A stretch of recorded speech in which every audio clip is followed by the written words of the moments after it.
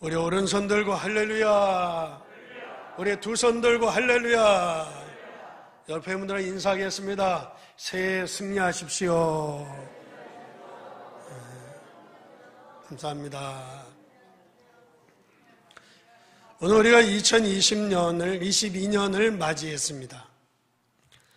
하나님의 은혜가 여러분들에게 임하셔서 올해는 영적으로 신료한 은혜가 임하시고 육적으로는 건강하고 행복한 삶이 되어질 수 있기를 주님의 이름으로 축원합니다. 여러분 하나님이 아무리 전능하다 하실지라도 어, 내가 믿지 않는 데는 아무 소용이 없는 것입니다. 기회는 매번 있으면서도 기회는 한 번밖에 없는 것입니다. 그것은 그때가 기회이지 지나고 나면 기회가 아니라는 것입니다. 어떤 때는 시간이 금방 지나갑니다. 그래서 내가 중요한 뭔가를 바꾸어야지 내가 뭔가를 바꾸지 아니하면 내가 기회를 놓칠 수 있고 아무리 전능하신 하나님이라 할지라도 내가 믿지 않는 데는 아무 소용이 없다는 것입니다. 뭘 바꾸라는 것인가? 가장 중요한 것은 우리 인생입니다. 내 인생을 개혁을 해야 한다는 것입니다. 바로 그 인생의 개혁이라고 하는 것은 뭐를 얘기하는가 하면 운명을 바꾸어야 한다는 것입니다.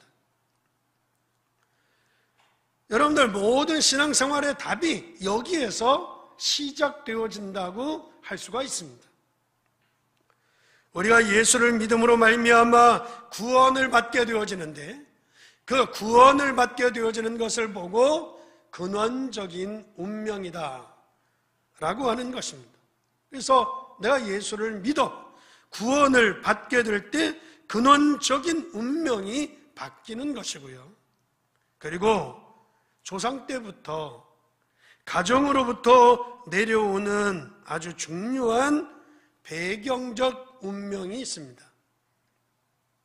보통 사람들이 이것을 예사를 어기고 무시하고 그리고 살아가는 사람들이 많이 있는데 여기에서 우리가 많은 축복을 놓치게 되어지고 하나님의 축복을 빼앗기게 되어진다고 할 수 있습니다.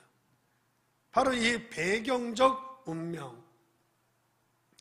그리고 우리가 쭉 살아가면서 우리가 또 살아오면서 또 우리가 자라오면서 나에게 남아있는 뭐가 있는가 하면 습관적 운명이 있다고 하겠습니다.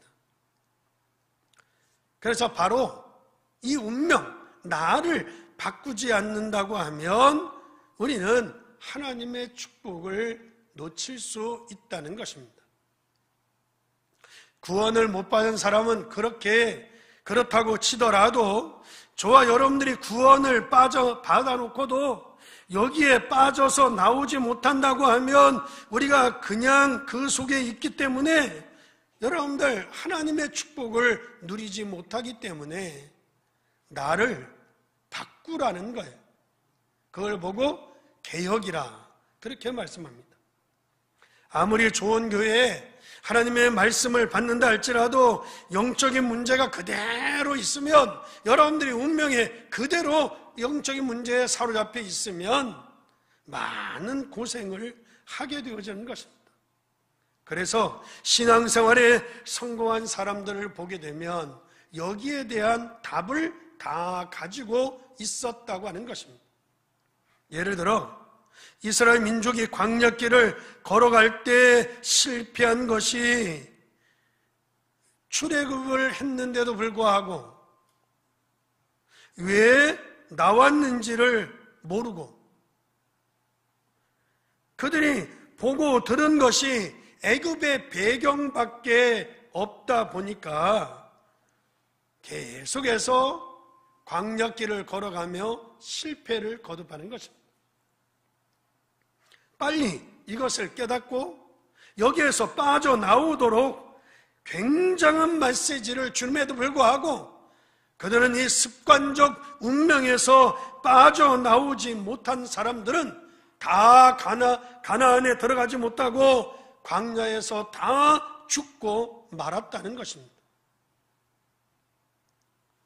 그러면 우리가 어떻게 개혁을 할 것이냐?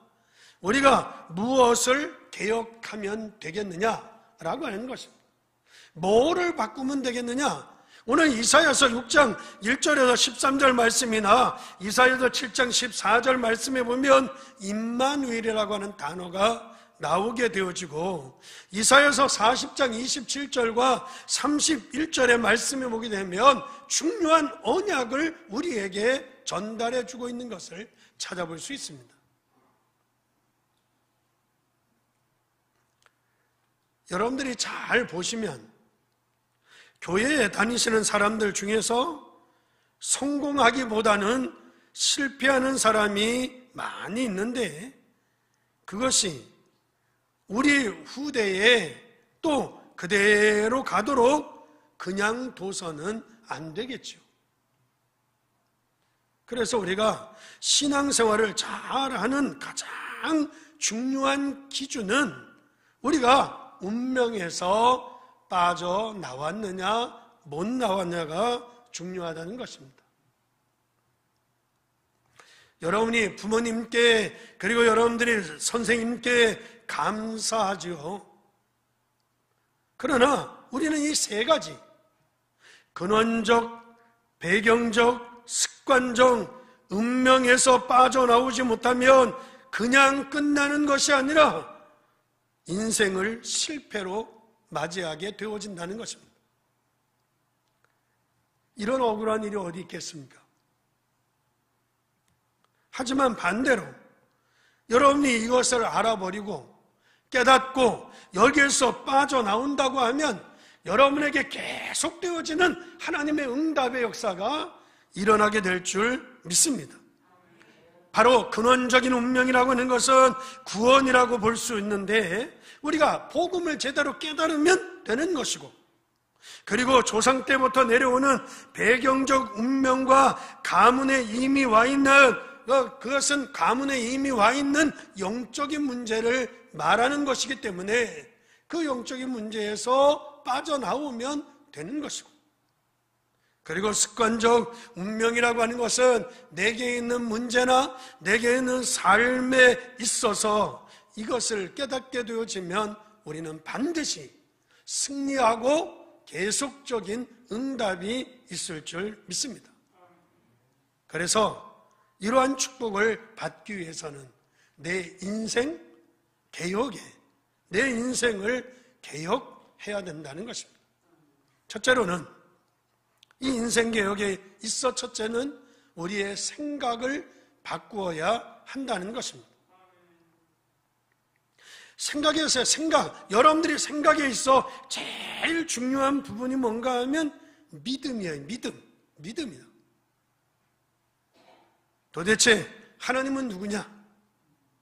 여러분들, 우리가 가지고 있는 복음은 무엇인가?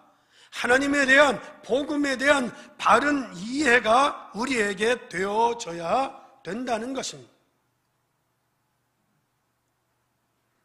하나님이 우리에게 주신 메시지가 우리가 가지고 있는 성경 말씀이죠. 이 성경 말씀에 하나님께서 우리를 건지시겠다고 그리스도를 보내겠다고 하는 것이 복음이고 그리고 하나님이 저와 여러분의 생명을 주관하시는 능력의 하나님이시라는 것입니다. 그래서 나 자신을 볼 때 여러분들이 내 수준으로 보지 말고 하나님의 입장에서 볼 때 여러분은 최고로 축복받은 사람인 것을 확신합니까? 확신하셔야 됩니다. 이렇게 믿음의 뿌리를 내린, 내린 말은 여러분들 열매를 맺히게 되어져 있는 것이 믿음의 말을 하다 보면 그 믿음이 내 의식 속에 무의식 속에 사로잡히게 되어지는 것이고 그런 가운데 우리의 운명이 바뀌어지게 되는 것이 그래서 제일 먼저 우리는 바꿔야 될 것이 믿음의 생각이에요. 믿음의 생각.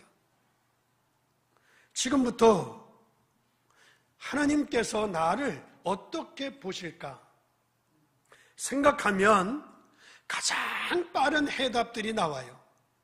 항상 믿음의 생각을 하는 거예요. 하나님은 나를 어떻게 보실까? 질문을 하시면 여러분들 가장 빠른 해답이 오게 되어지고 하나님께서 왜 이렇게 하셨을까? 하나님께서 나를 어떻게 보실까 생각을 한다고 하면 여러분들에게 가장 빠른 답들이 온다고 하는 것입니다. 분명히 하나님은 전능하셔서 나의 형편과 나의 처지를 아실 뿐 아니라 하나님은 지금도 살아 계시며 하나님은 아실 수 있다고 하는 거 믿는다고 하면 여러분들의 의식이 바뀌고 여러분들의 운명이 바뀌고 여러분들에게 하나님의 역사가 계속되어질 줄 믿습니다. 예를 들면 하나님께서 아브라함을 아시고 부르셨어. 모르고 부른 게 아니에요. 아브라함을 알고 말이에요. 그런데 왜 나를 나가라고 하냐고 하나님 앞에 거부하죠. 하나님이 야 갈대아 우르 친척 아비 집을 떠나 가라 그러는데 아니 하나님 나 지금 잘 먹고 잘 살고 있는데 왜 나보고 자꾸 나가라 그럽니까? 안 나가는 거예요. 그래도 어느 날 아버지가 돌아가셨어. 깜짝 놀랐어. 그래도 하나님은 아브라함에게 내가 너를 불러 너를 가나안 땅으로 가게 하겠다고 말씀하여 또 안 가. 어느 날 형님이 돌아가셨네. 그래 가만히 생각하니까 그 다음에 차례가 자기네. 야 내가 여기 있다가는 죽겠다. 그래서 억지로 할 수 없이 나가는 거예요. 나가는데 누굴 데리고 가는가 하면 조카 롯을 데리고 나가잖아요.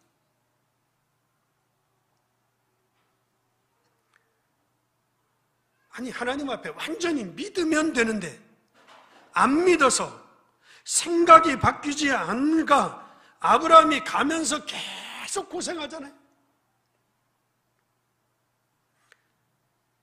하나님의 능력을 전적으로 믿지 못해서 낳은 아들이 누굽니까? 이스마일 아니. 그 이스마일이 지금까지 지구상의 문제아로 남아있잖아요. 우리는 큰 언약의 백성으로 하나님의 부르심을 받았어. 2022년을 하나님의 축복의 해로 우리에게 허락해 주셨단 말이에요. 여기에서 저와 여러분이 생각이 바뀌신다면 하나님의 역사가 시작되게 될 줄 믿습니다.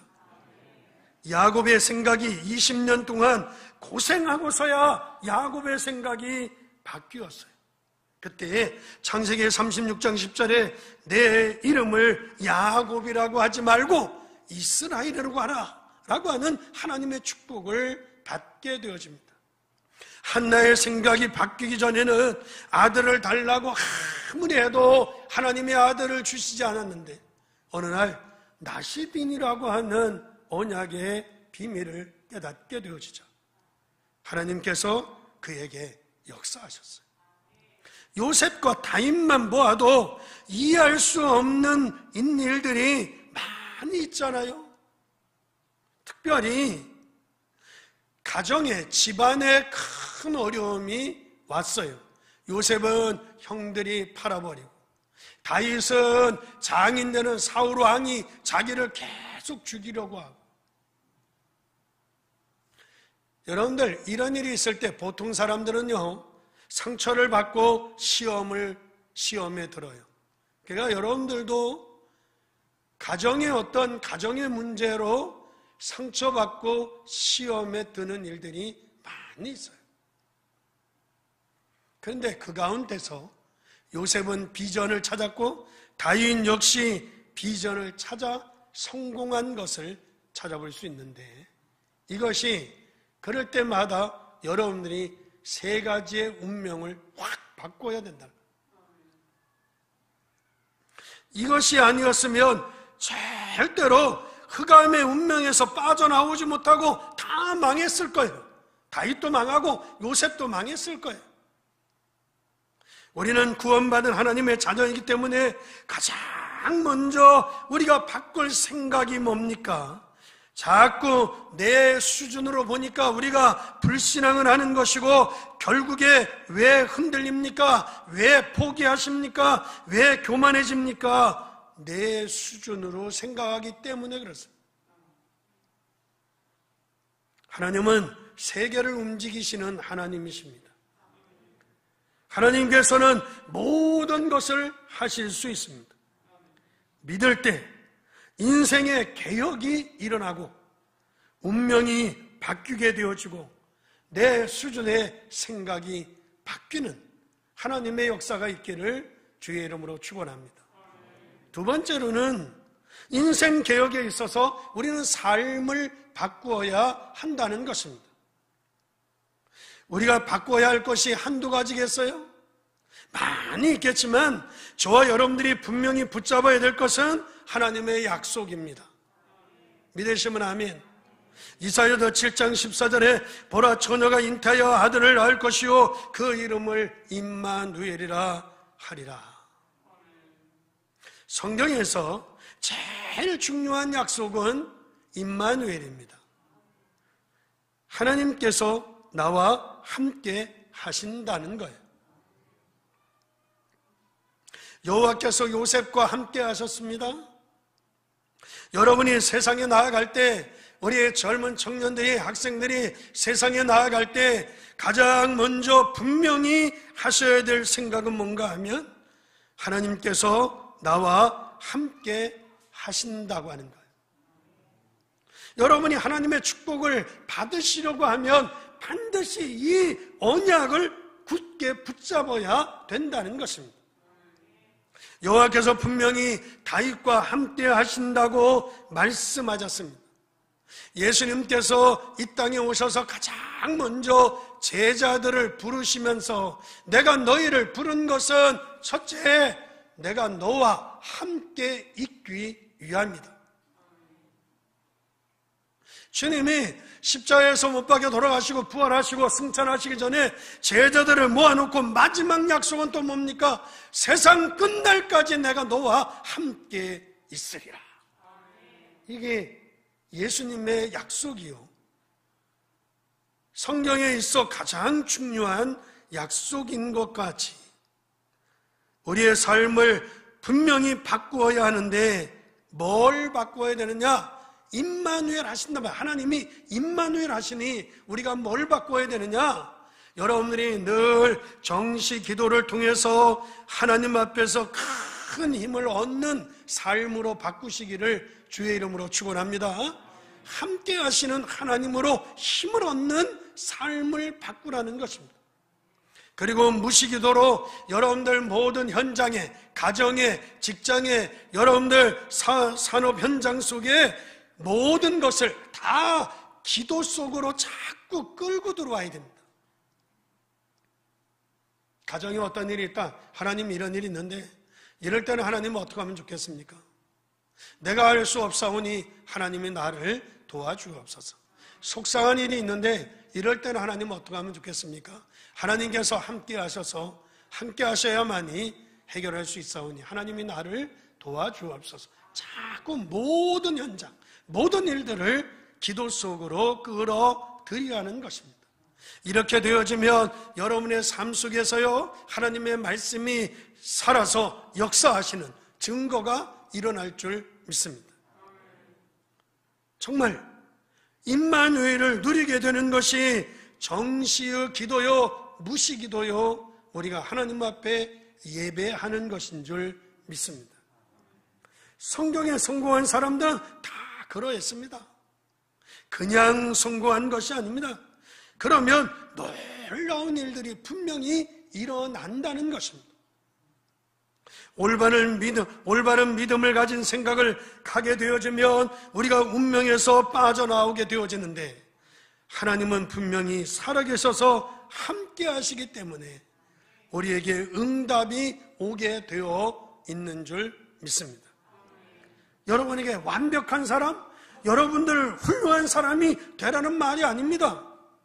우리는 최고의 축복을 받았기 때문에 우리의 생각부터 바꾸라는 거예요. 그리고 하나님이 분명히 함께 하시기 때문에 여러분들이 어디에 방향을 맞추면 승리할 수 있느냐? 여러분의 삶을, 여러분들의 삶을 바꿀 때 하나님께서 역사에 주신다는 것입니다. 그리고 나면 여러분의 기능, 여러분들의 기능이 살아나고, 여러분들의 직업이 살아나고, 여러분의 삶의 현장에 하나님이 역사하셔서 놀라운 축복의 문들이 열려지게 될 줄 믿습니다. 믿으시면 아멘.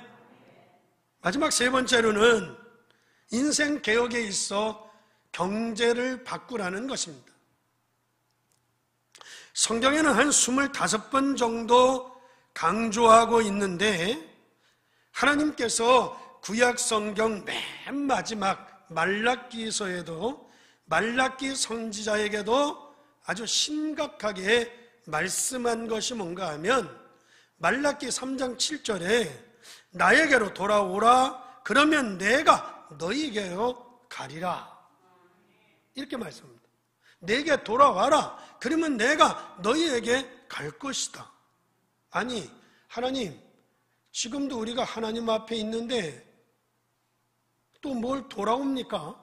지금도 내가 하나님을 잘 믿고 있는데 지금 하나님을 우리가 섬기고 있는데 뭘 돌아오기는 어디로 돌아옵니까?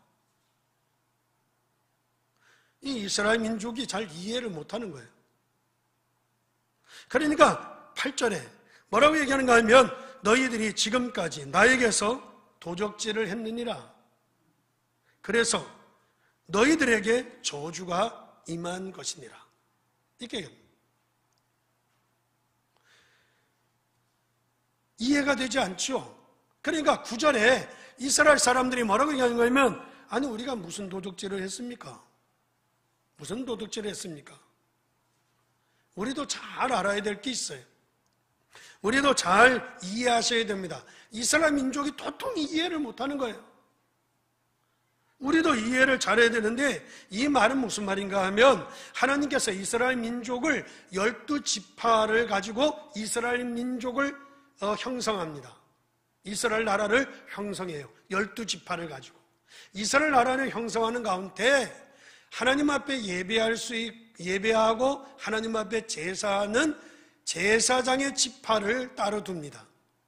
그러면서 열두 지파에다가 배, 배분해야 될 이스라엘 땅을 열한 지파에다가 배분을 하면서 레이 지파가 받아 가져가야 될 육신적인 축복을 열한 지파에게 다 나누어 주고 레이 지파는 영적인 예배하는 일과 하나님께 제사하는 일들만 남, 맡기면서 그 열두 지파에게 나누어 줘야 되는데 열한 지파에게 나누어 줬던 그 한 부분을 하나님께 드리도록 그렇게 성경은 말씀하고 있는데 그걸 안 가져온다는 거예요.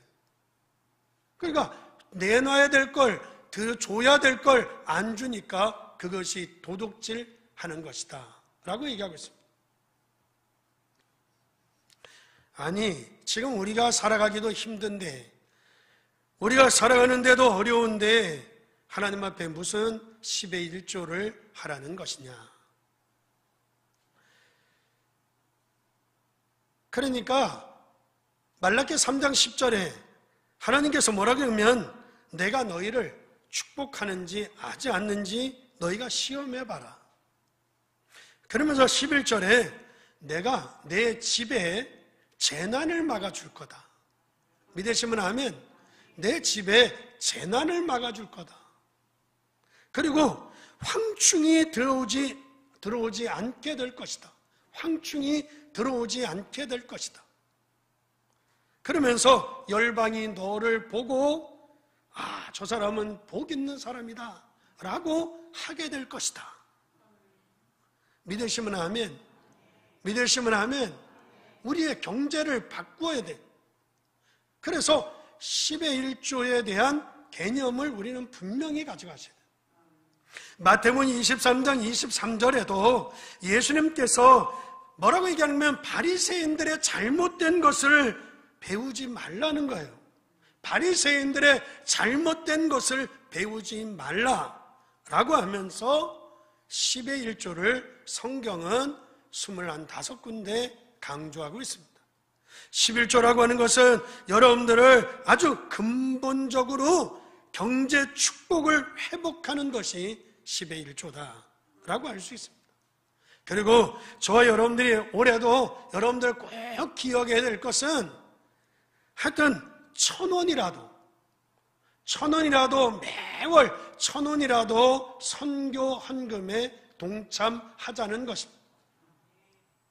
아니면 여러분들 선교라고 하는 전도라고 하는 단어를 놓치지 말라는 거예요.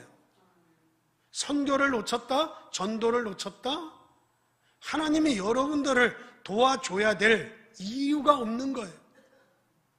그래서 제가 지금까지 목회하면서 하나님 이 사람은 축복해 주세요. 안 해주는 거야. 하나님이 이 사람은 어떻게 해줘? 안 해주는 거야. 왜 그럴까? 그런데 내가 축복하란다고 축복하고 내가 벌 주라고 한다면 벌을 준다면 여러분들이 저를 이래 볼 때, 제 성품을 볼 때 축복한 사람이 많았겠어요? 벌 주라는 사람을 많이 하라고 했겠어요. 여러분들이 제 성품을 볼 때. 하나님이 내가 하라는 대로 하는 거 아니에요. 제가 이래 보니까 하나님이 축복할 사람이 축복을 누가 하는 거 보니까 끝까지 성경에 남는 이름으로 축복하는 사람이 누군가 하면 전도와 선교를 이해하는 사람들을 축복하더라. 저는 그때부터 하나님 이 사람 축복해 주세요. 그렇게 하지 않고 어떻게 하면 이 사람에게 선교와 전도를 이해시킬까?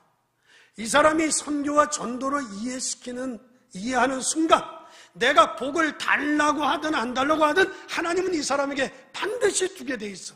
나와 상관없이. 믿으시면 아멘. 믿으시면 아멘. 그래서 여러분들이 10의 1조와 더불어서 올해 꼭 여러분들 우리가 천 원이라도 선교 헌금에 동참하든지 아니면 선교와 전도라고 하는 단어를 절대 놓쳐서는 안 된다. 왜냐하면 이것은 하나님의 이면적 축복이 바로 선교라고 하는 것을 아셔야 돼요. 그래서 여러분들 근본적 축복은 10의 1조를 가지고 받고 하나님의 이면적 축복은 선교와 전도 헌금을 통해서 받는다는 것을 놓치지 마셔야 돼요. 아멘 해요. 아멘. 드릴 것만 생각하고 걱정하지 마시고 받을 것을 생각하고 기쁘게 아멘 하셔. 절대 오해하지 마세요. 많이 하라는 말도 아니에요. 우리가 참여하자는 거예요. 그래서 올해는 꼭 여러분들 경제적 회복을 통해서 하나님의 시대적인 하나님의 복을 누릴 수 있기를 주의 이름으로 축원합니다. 결론은 말씀을 드립니다. 하나님은 우리의 노후 인생까지 하나님이 변화시키셨습니다.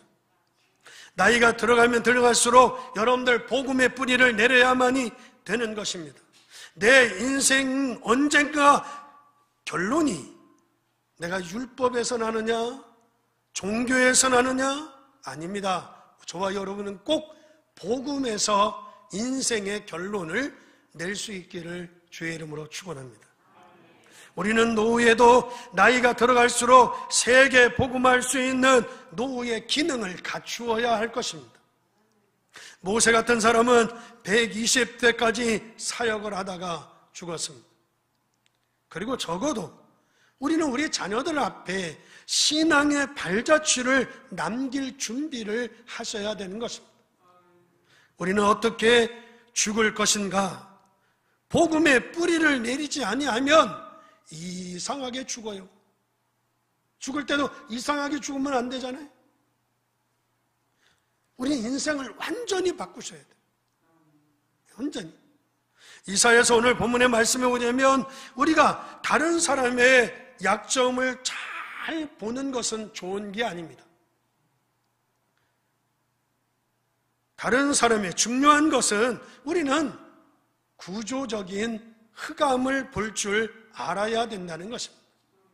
오늘 이사야서 6장 1절에서 7절, 더 나아가 13절 말씀까지 쭉 이어지는 말씀의 내용이 뭔가 하면 우리가 다른 사람의 어떤 약점을 잘 보는 것은 그런 건 좋은 게 아니에요.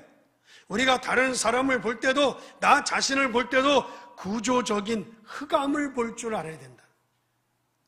이사야서 7장 14절에 여러분들 우리가 제, 제대로 된 복음을 깨달을 수 있어야 된다는 것입니다.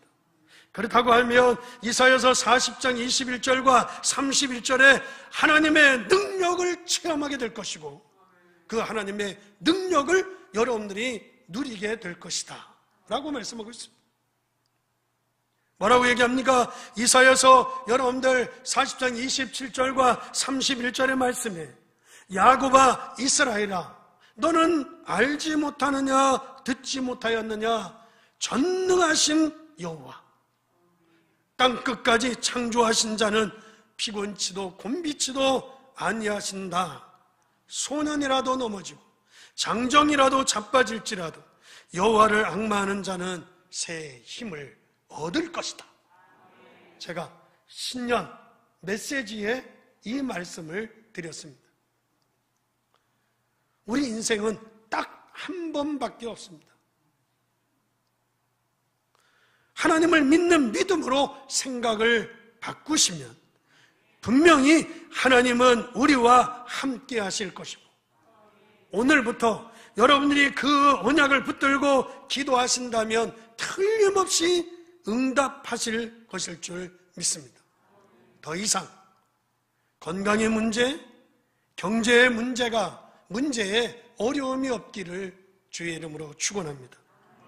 얼마만큼 축복을 받아야 되겠습니까? 우리의 노후까지 하나님의 역사가 일어나도록 준비하셔야 된다는 것입니다. 그러므로 2022년 기회가 그렇게 많이 있는 것은 아닙니다. 모든 우리의 성도님들이 함께 하셔서 우리의 인생과 여러분의 가정에 하나님의 축복이 꼭 있어지기를 주님의 이름으로 축원을 드립니다. 기도하겠습니다.